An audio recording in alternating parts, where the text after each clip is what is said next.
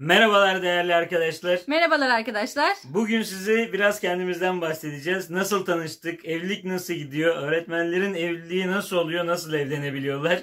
Biraz bunlardan bahsedeceğiz. Biz birazcık seminer döneminin önemini kavrayan çiftlerdeniz.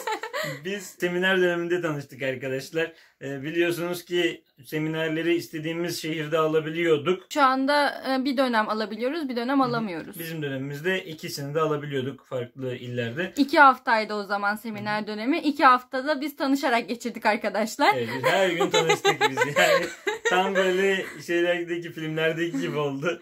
Tam böyle döndük anında göz göze gelme hikayesi. Daha sonra işte muhabbeti ilerletme derken bir baktık evlenmişiz. yok yok bu kadar kısa geçmedi tabii. Tabii o süreçte ayrı illerdeydik. Daha sonra işte e, telefonla olan irtibatımız falan da gelişti. Arada görüştük, buluştuk. Tatillerde buluştuk. Arada o 15 Sivas'a geldi, arada ben Bursa'ya geldim derken aynen aynen.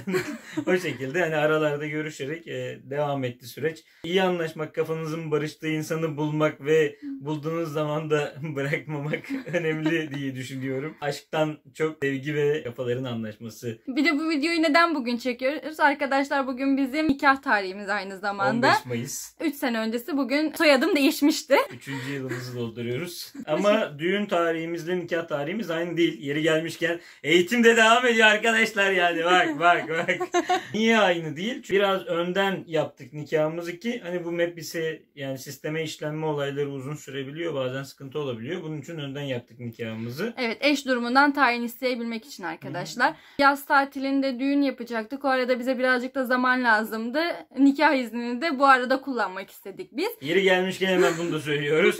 Evlilik iznini nikah tarihiniz ayrıysa nikah haftası isterseniz düğün haftası kullanabiliyorsunuz arkadaşlar. Biz nikah haftası kullandık. İşte gelinlik provaları, hazırlıklar vesaire bunlarla hani bir haftayı değerlendirdik. Zaten evliliğimiz, hani düğünümüz yazın, Yazın olmuştu, olmuştu. Ağustos ayında. Bir yandan nasip diyelim arkadaşlar. Bir yandan da doğru zamanı bulmak diyebiliriz açıkçası. Ben 3 yıllık öğretmendim. Aynı şekilde eşim de 3 yıllık öğretmendi. Normalde o zamana kadar olan bütün e, il dışı seminerlerini ben başka bir okulda almıştım. o dönem anne sözü dinleyerek bu okula geçtim. Orada da nasipmiş. İkimiz de başka şehirden geldiğimiz için hani oradaki diğer öğretmenleri de çok fazla tanımadığımız için hani aynı masada oturmaya başladık. Orada muhabbete başladık falan. Orada laf laf arası laf laf arası derken sonra bir baktık ki biz konuyu ilerletmişiz, ilerlemiş. Aynen, ama ondan öncesi var şimdi yani. Ondan önce karşılaşmamızda asıl dikkatimi çekmişti İlknur Hanım. Daha sonrasında o beni fark etmemiş demek ki o karşılaştığımızda bak hatırlamıyor bile. Yani şu anda mesela gözüme de canlanıyor yani o ilk öğretmenler odasından girip de şöyle bizim masaya yaklaştığından falan oradaki öğretmenlerle merhaba merhaba merhaba Ya, diye. ya. Evlilik kafanızda olursa eğer hani bu işin e, devamı illaki gelir diye düşünüyorum. Hani kafanızda karşınıza çıkmasını istediğiniz insan nasıl bir insan? Ne özellikleri özellikle olmazsa olmaz. Yani bunu düşünürseniz daha iyi olur diye düşünüyorum. Yani sizin hani bu sizin hayatınız. Yani tabii ki nasıl bir insanla evlenmek istediğinizi kendiniz belirleyeceksiniz. O yüzden hani ben o aralar o yıllarda artık hani bu felsefesini düşünüyordum yani kimle nasıl evlenmek lazım diye. Ailelere falan hep sordum ben. Siz ne kadar uyumlusunuz falan diye. Genel olarak gördüğüm hani %40, %50, %60 uyumlu çiftler çoğunlukta. Yani ben hani %70, %80, %90 uyumun olursa daha güzel olur. Dadından yenmez yani. Niye? E şimdi bak evleniyorsun. Ya ben istedim ki hani eşim öğretmen olsun. İşte şöyle olsun, böyle olsun. Kafası bana uysun vesaire. E yani gezmek istiyorsun mesela. Evde oturmak isteyen öğretmenler de çok fazla var. E o zaman hani benim kafama göre gezmek isteyen birisi olması lazım. Piknik yapmayı çok severim. Mangal yapmayı çok severiz ikimiz de. E işte demek ki bana böyle uygun bir insan olması lazım. Hani örnek veriyorum yani. Kitap okumayı severim. Proje yapmayı severim. O zaman beni anlayacak bir insanın olması lazım. Yeri geliyordu mesela arkadaşlar işte eşim doktora yapıyor mesela fizikten soruları oluyor bazı yerde matematiğe dönüyor hemen matematik kısmında İknur bunları çözmem lazım nasıl yaparız? Yani hani böyle bir e, birliktelik yani birbirini tamamlama olayı gerçekten önemli yani bu süreçte. Acele etmeyin arkadaşlar. Ama aklınızda da artık hani bu noktadan sonra bulunsun yani. Artık hani işinizi elinize aldınız. Hani aileler gibi konuştum ben de. okulunuzu bitirdiniz artık ne olacak eğleneceğiniz yani. Bu işi çok da uzatmadan da yok yok yani 10 yıl sonra da olabilir ama yani bence hani artık 3-5 seneye evlenirsiniz diye düşünüyorum. Hani kafanızın bir köşesinde bulunsun yani. Doğru zamanda doğru insan karşınıza çıktığı zaman arkadaşlar neden olmasın? Ben- Yani öğretmenler hani genelde zaten seminerlerde, okulda beraber çalışırken Yani aynı ortamda tanışan arkadaşlarım oldu genelde. bizim Üniversite öğretmen arkadaşlar yıllarından. vasıtasıyla olanlar vardı mesela. Üniversite yıllarından tanışıp e, atandıktan sonra hayatlarını birleştirenler var mesela. Evet, Bizim liseden mesela tanışık olup evlenenler vardı. Yani mahalleden, çocukluktan tanışanlar vardı. Fakülte yıllarından arkadaş olanlar vardı. İnternetten tanışanlar genelde söylemiyorlar. Bunun notunu aldım özellikle. Yani internetten tanıştığı garanti dediğim insanlar var. Buradan onlara sesleniyorum. Ee, hayatımızın bir gerçeği sosyal medya. Ama hani insanlar söyleyemiyorlar. Çekiniyorlar yani evlenirken. Görücü usulüyle tanışanlar da var. Yani hani ailesi uygun görüyor. İşte diyor ki böyle birisi var. Tanışıyorlar ve bu şekilde evlenip mutlu olanlar da var etrafımda. Görüyorum mesela. Bizimki nasıl gidiyor? Bizimki iyi gidiyor. Allah'a şükür gidiyor, arkadaşlar. Yuvarlanıyoruz, gidiyoruz yani çok şükür. Öğretmen evliliklerinin de hani bence fena değil, güzel yani. Tabii ki başka meslek gruplarıyla da evlenebilirsiniz. Sizin kafanızda belirlediğiniz şeye bağlı zaten dediğim gibi veya sevdiğiniz insana bağlı. E, biz de hani Biz gezmeyi çok seviyoruz arkadaşlar. Bizim için yaz tatili çok büyük bir veli nimet olduğu için ikimizin de öğretmen olması bu yönde çok avantajlı oluyor. benim bir de bu lisansüstü takıntım hani kafama taktığım için e, buna da en uygun biliyorsunuz öğretmenlik yani. Hem evlilik konusunda da sıkıntı yaratmamasını sağlıyor. Evet ben nerede anladım arkadaşlar Nerede doğru anladın? kişinin Söyle. Ahmet olduğunu.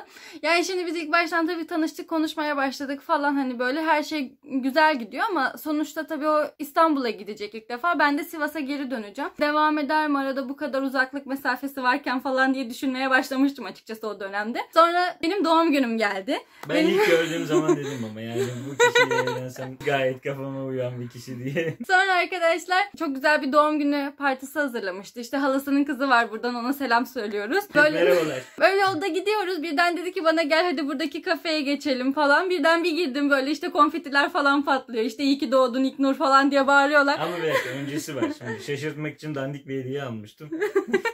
Ya ben ona da sevindim onu sonuçta. da sevmişti sağ olsun yani. Beni götürdü bir kafeye. Orada bana bir kahve ısmarladı. Sonra hediyemi verdi falan. Dedim ki sağ olsun beni düşünmüş bana hediye almış falan. Hani mutlu da oldum. Daha da başka bir şey beklemiyordum açıkçası.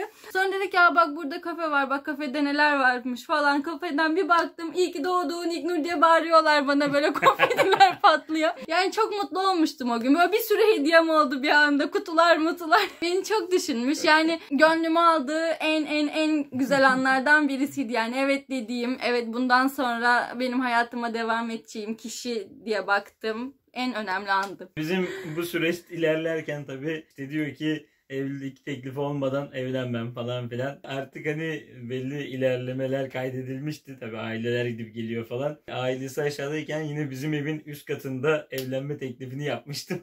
Şu an bulunduğumuz evde Evet, arkadaşlar. bulunduğumuz Yan ev. odada. Evlilik teklifi yaptığım ev boştu o zaman yani. Annesi babası aşağıda. Anne dedim ki gel bak yukarıya göstereyim sana hani Bursa'daki evimiz bu olacak falan. Bir çıktık tabii halamın kızı konfetler. Yine konfet yoktu bu sefer yok. Şaka. Bu sefer Dilek keman feneri. vardı keman çaldım. Dilek fenerini havaya uçururken evi yakacaktık az kalsın ama. Evet elektrik telleri var orada. Allah'ım ben fizikçiyim nasıl yaptım bunu bilmiyorum. Yani yakacaktık evi valla. Aşk mı, sevgi mi, mantık mı diye düşündüğümüz zaman bence sevgi ve mantık daha ağır basıyor. Aşk bir yerden sonra bittiğini düşünüyorum ben açıkçası. E, sonuçta... Ondan sonra da gerçekler açığa çıkıyor yani.